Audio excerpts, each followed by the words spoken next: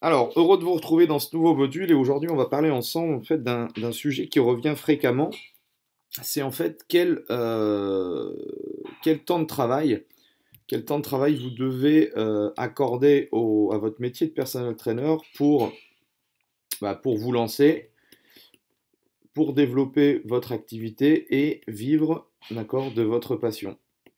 En fait, je m'aperçois que euh, bah, aujourd'hui, beaucoup plus de, de nombreuses personnes en fait qui ont un job qui n'a rien à voir avec, euh, le monde du fitness et du, euh, du coaching sportif aimeraient justement euh, bah, par passion et par envie de transmettre aux, gens leur passion de se lancer dans, cette activité.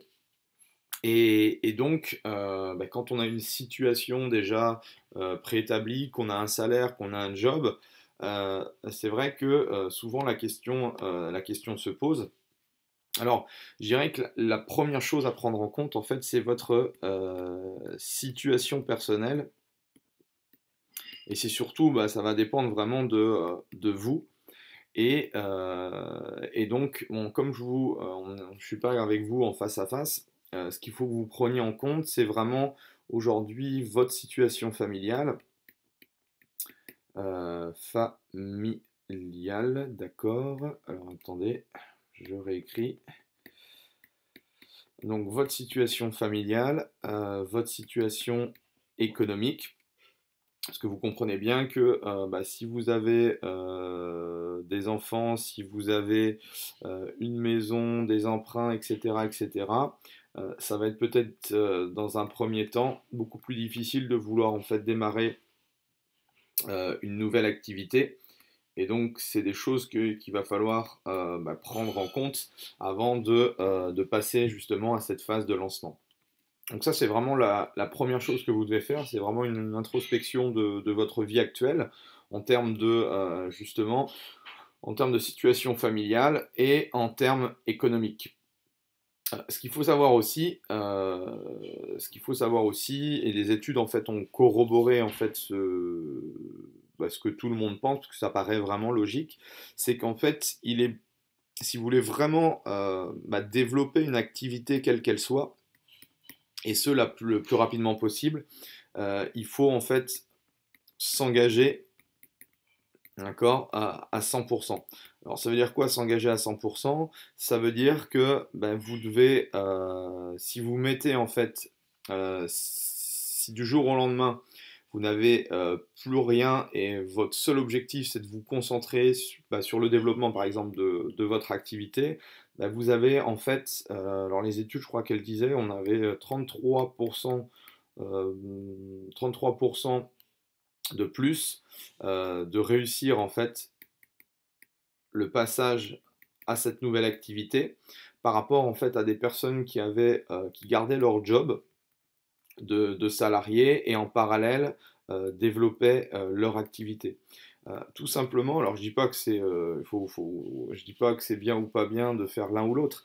C'est simplement de prendre, enfin de, comprendre en fait la logique à travers ça. C'est que en fait quand quand on se met en danger, parce que là l'idée de, de, changer complètement de job du jour au lendemain et de n'avoir plus rien et de se concentrer essentiellement pour le, à, lancer sa nouvelle activité, c'est que euh, en fait quand on se met en, danger ou en, situation justement de, en situation d'inconfort et qu'on n'a en fait pas d'autre choix bah, que euh, bah, de réussir son lancement, sinon bah, on n'a plus rien, eh bien on, on, développe en fait des mécanismes on développe des mécanismes euh, de survie entre guillemets et c'est ce qui va vous permettre d'avoir une euh, bah, d'avancer beaucoup plus vite d'avoir une logique en fait aussi euh, qui est vraiment centrée sur le sur le développement de votre activité et vous allez avoir un focus en fait permanent sur le développement de cette nouvelle activité.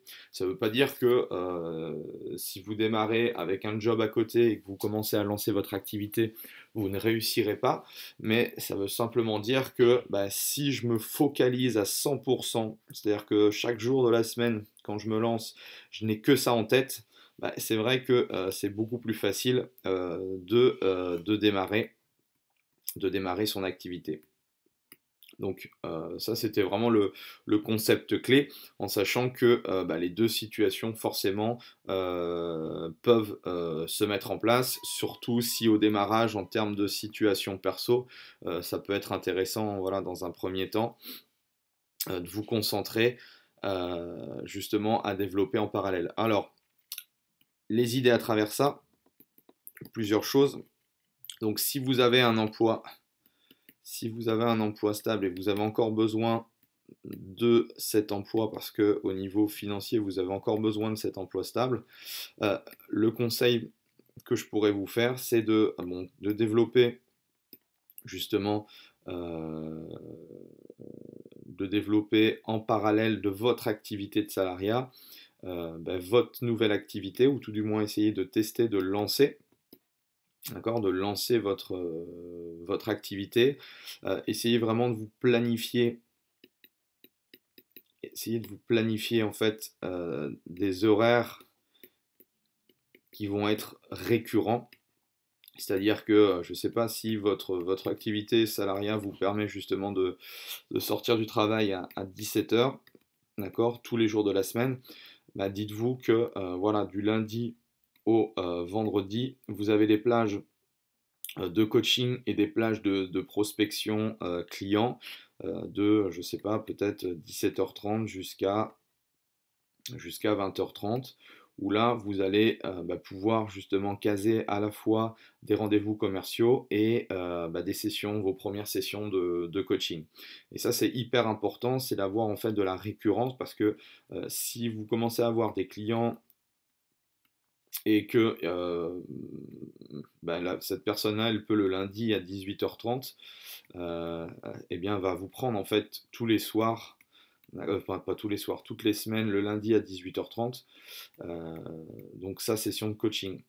Et plus vous allez avoir justement cette, cette, notion de récurrence, plus ça va être aussi facile pour elle et pour vous de pouvoir vous créer en fait un calendrier euh, un calendrier de coaching. Parce que si vous lui dites que euh, un jour c'est le lundi à 18h30 où vous avez de la place, l'autre semaine ça va être le mercredi à, 17h30, etc. c'est beaucoup plus compliqué. Alors que bah, votre client, il faut en fait lui faciliter vous lui facilitez la vie et euh, c'est un créneau qu'elle va euh, tout simplement mettre semaine après semaine et ça va être beaucoup plus facile de pouvoir la, fidéliser. Donc ça c'est vraiment le conseil que je pourrais vous donner, surtout si vous vous lancez avec un, emploi à côté. Euh, faites bien vraiment la distinction avec votre, votre job de salarié et surtout ben, mettez suffisamment d'heures D'accord Mettez à disposition suffisamment d'heures en place chaque semaine pour à la fois avoir ce travail de prospection et, euh, en fait ce, travail aussi, on va dire, d'opérationnel, c'est-à-dire ben, commencer à faire des sessions avec les gens. Et si vous ne mettez pas en suffisamment d'heures, si vous n'avez qu'une à deux heures à consacrer, une à deux heures à consacrer par semaine à l'activité de coaching, ça va être compliqué euh, ça va être compliqué de pouvoir vraiment développer une activité, de savoir si cette activité euh, vous permettra à la longue euh, bah, de switcher votre, votre activité de salarié, de passer justement à un modèle bah, que de développer, que de vivre de votre personnel, enfin du, personal training. ça vraiment, ça, ça, dépend de ce que vous voulez faire. Si vous voulez juste faire quelques heures de personal training pour arrondir vos fins de mois ou tout simplement parce que vous aimez ça, ben, ok, sans souci. Par contre, si vous avez dans, l'idée euh, de supprimer votre emploi de salarié qui, ne vous plaît plus et vraiment vous concentrer à, 100% à cette, euh, à cette activité de personal training, il va être nécessaire, surtout au début, et vous allez avoir une grosse surcharge de travail, euh, d'apporter suffisamment de travail au début suffisamment d'heures pour ben, lancer la machine. Parce que le plus difficile en fait dans, dans toute activité, et ce quelle qu'elle soit, c'est vraiment euh, le lancement. Et plus vous allez galérer au lancement, euh, bah, plus, euh, bah, plus, vous allez vous décourager.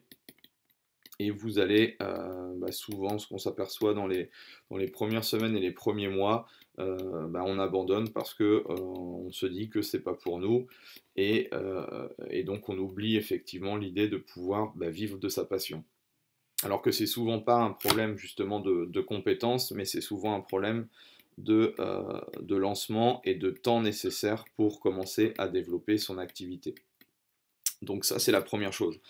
Euh, ensuite, pour la deuxième chose, pour les gens justement qui sont dans l'optique euh, de, se lancer, euh, on va dire corps et âme dans le, dans personal training, j'ai plusieurs conseils en fait à vous donner parce que moi j'ai été dans, cette situation-là. moi, ce qui m'a permis de développer mon coaching, il y a plusieurs choses, mais là, si on parle de, si on parle de, gestion du temps, euh, c'est le fait d'avoir, enfin moi je vous conseille d'avoir minimum une année d'expérience, d'accord, une année d'expérience dans un fitness en tant que, euh, en tant que fitness instructeur. Alors, ce que j'appelle fitness instructeur, c'est en tant que, euh, en tant que prof, instructeur, en plateau, en plateau muscu et cardio. plateau, muscu, cardio. Et malheureusement, je me rends compte aujourd'hui que euh, bah, de plus en plus de personnes ne veulent pas passer par, euh, bah, par cette case-là, en sachant aussi également que bah, de moins en moins de, clubs, malheureusement, euh, développent cette partie-là. Tout simplement parce que souvent les patrons de clubs ne sont pas euh, non, comment dire, n'ont pas euh, justement euh, vu l'intérêt d'avoir des personnes compétentes à ce, à ce poste-là, ou simplement quand ils ont mis des personnes à ce poste-là, eh bien les, les, instructeurs ou le personnel ne faisaient vraiment pas leur, leur job, et donc bah, on, s'aperçoit que, que, des modèles économiques de clubs ont, ont, carrément supprimé le personnel sur le plateau et cardio-muscu, d'où l'arrivée du low cost et du bas prix. Enfin bon, bref, euh, moi je vous encourage vraiment à trouver, euh, il, y en a encore, hein, je pense que ça, perdurera et je pense que ce, métier de, prof sur plateau muscu va prendre de nouveau de, bah, l'importance dans, les mois et les années à venir, tout simplement parce que c'est un point en fait névralgique, c'est ce qui va vraiment permettre aux clubs de fitness aujourd'hui, euh, les clubs de fitness généralistes, de pouvoir justement apporter une qualité de service que les, euh, low cost ne proposent pas aujourd'hui. Et donc, pourquoi en fait c'est intéressant pour vous d'avoir au moins minimum une année d'expérience?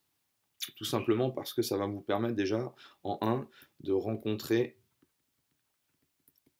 euh, des clients qui ont en fait euh, des attentes et des objectifs qui sont complètement différentes. Et en fait, c'est cette, euh, cette variété cette variété de, clients qui sont différents qui va vous permettre en fait de bah, déjà d'avoir dans votre tête de vous faire un choix, de savoir bah, les personnes avec qui vous avez envie de travailler. D'accord? Donc les personnes avec qui vous avez envie de travailler. Euh, et surtout, pour moi, ça m'a permis de savoir les personnes avec qui vous n'avez pas envie, pas envie de bosser.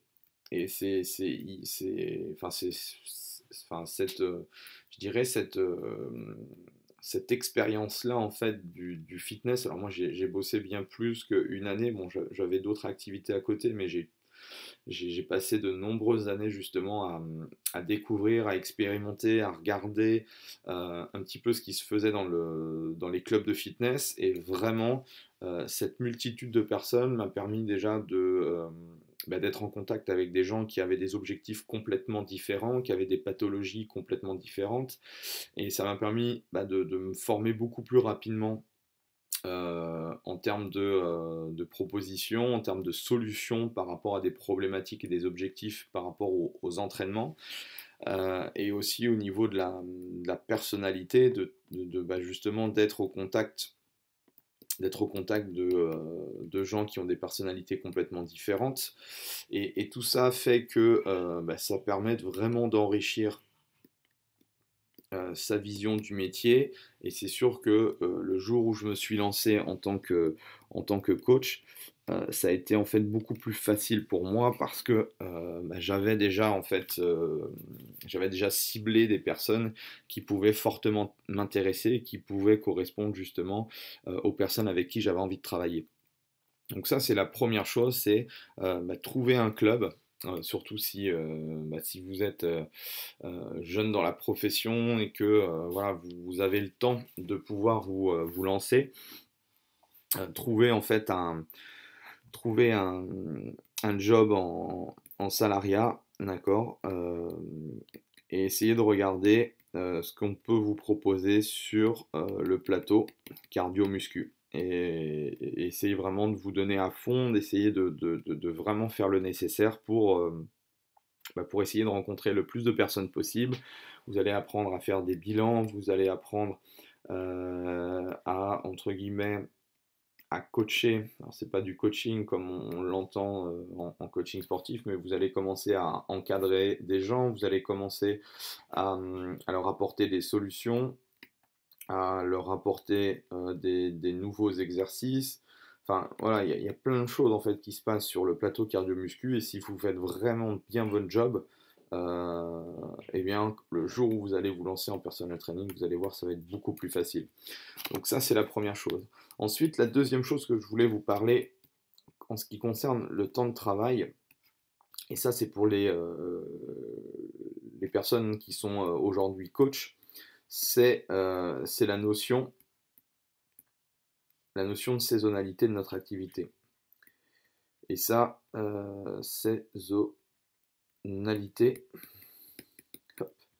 de notre activité. Euh, le top, en fait, ça serait d'avoir effectivement des... Euh, si, si, on a les revenus, ce serait d'avoir des activités qui soient linéaires dans le temps. C'est-à-dire que euh, bah, chaque mois, vous, vous avez justement le, plus ou moins, enfin au moins le même, le même rendement en termes de chiffre d'affaires euh, et, ça vous permettrait d'avoir une visibilité en fait sur, euh, sur l'année. Euh, néanmoins, vous avez dû constater si vous avez, si vous avez un peu d'expérience dans le coaching, c'est que, alors je vais faire le, le blanc ici, ce qu'on s'aperçoit en fait au niveau, au, niveau de notre ah, au niveau de notre activité, on est plus effectivement dans cette notion-là de euh, bah, d'avoir justement des, euh, des hauts et d'avoir des bas dans notre activité. Et c'est souvent ça le, souci, c'est que généralement quand on a des hauts, on a souvent, surtout au début, on s'enflamme pas mal et on n'a pas justement pensé aux bas de notre activité qui nous permettent justement d'avoir bah, une certaine ensuite euh, linéarité au niveau de notre chiffre d'affaires. Donc quand vous avez des hauts, l'idée c'est de pouvoir justement euh, gardez ça par rapport au, au, bas que vous allez avoir dans votre activité et qui va en fait s'étalonner d'accord, tout au long de l'année. Alors, avec l'expérience et euh, avec le bon sens, on peut déjà savoir, je vais vous donner vraiment les, choses que j'ai pu, euh, constater. quand on parle de, saisonnalité, on parle de deux choses en fait à prendre en compte. La première chose, c'est le facteur des saisons. D'accord? Et la deuxième chose, ce sont les vacances.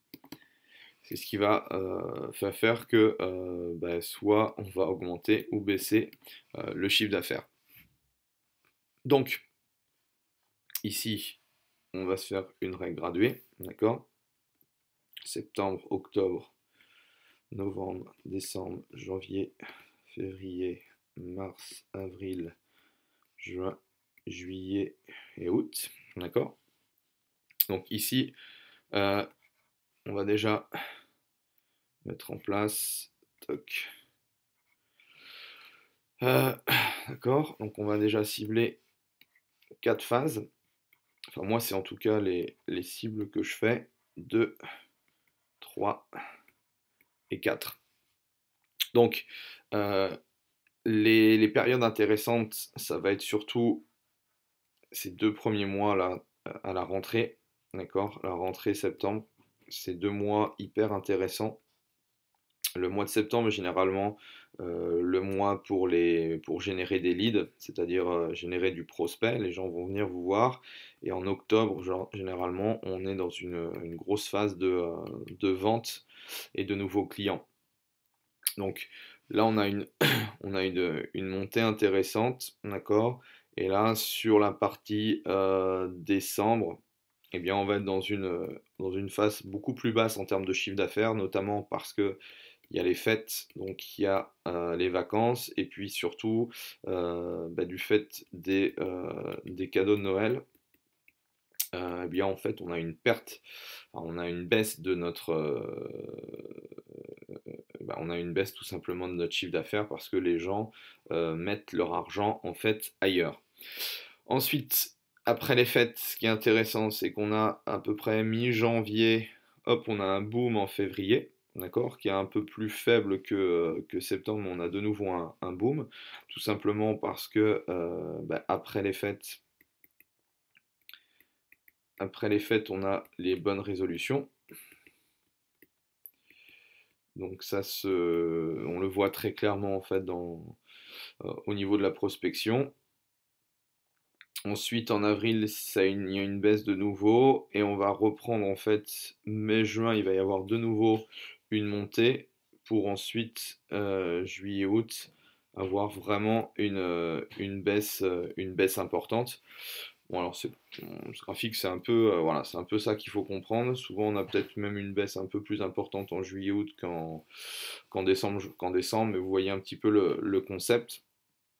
Ici, ça remonte tout simplement parce que l'été arrive, donc les gens ont envie de se préparer pour leurs vacances.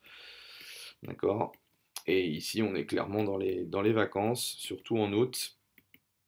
Et donc, bah, forcément, on a une, baisse euh, sensible du chiffre d'affaires, donc faut, en prendre, faut prendre ça en compte. Et en plus, vous partez également en vacances.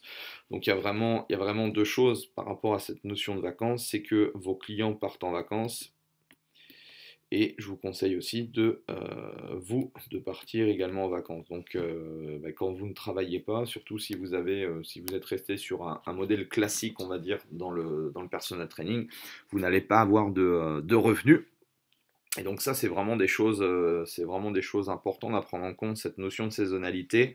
là, vous avez vraiment, voilà, deux bons mois pour faire une grosse différence.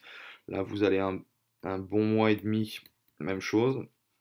Là, vous avez euh, même chose, un mois et demi, deux mois pour, euh, pour essayer de faire vos, euh, vos chiffres de l'année, ce qui vous permettra justement de, bah, de pallier à, ces baisses qui sont en décembre. On a un creux en avril et puis on a un creux surtout sur, sur juillet-août. Donc ça, c'était la, deuxième chose. Prenez vraiment ça, bah, prenez en compte toutes ces petites choses-là que, que, je vous apporte. Euh, essayez de voir justement euh, bah, après d'année en année euh, s'il y a vraiment des variations ou vous êtes toujours dans le, même système. Donc je vous conseille vraiment de, garder vos chiffres. Donc ça par rapport à ça. Et, la dernière chose en fait que je voulais vous parler, ça concerne en fait l'érosion l'érosion de vos clients. Parce que même si vous faites un, excellent travail, vous apportez énormément de qualité dans vos, dans vos coachings et dans votre service client. Ça, c'est vraiment indépendant, on va dire, de, vos compétences et votre expertise. Les gens, en fait, les gens vont changer de carrière. Ça va arriver. Les gens vont donc changer de carrière, c'est changer de job les gens vont changer de région, donc de ville, donc ils vont déménager. Les gens vont changer de mode de vie. Et euh, les gens vont avoir euh, des problèmes quelconques euh, qui vont faire que, que ce soit médical ou, ou, ou d'argent. Et donc en fait, on va dire, toutes ces, toutes ces choses-là, bah, vont. Alors je dis pas que toute votre base de clients va avoir ça tous les, mois et vont, s'en aller, mais il va falloir prendre conscience que bah, cette érosion de clients qui vont vous quitter, non pas parce que votre service n'est pas bon, mais parce qu'ils euh, ne peuvent plus, soit financièrement, soit ils ne sont plus dans la région, euh, travailler avec vous. Et donc il va falloir que chaque mois, vous soyez dans une, euh, dans une stratégie de gestion de gestion de vos contacts, d'accord, de gestion de nouveaux prospects et dans cette notion de vente.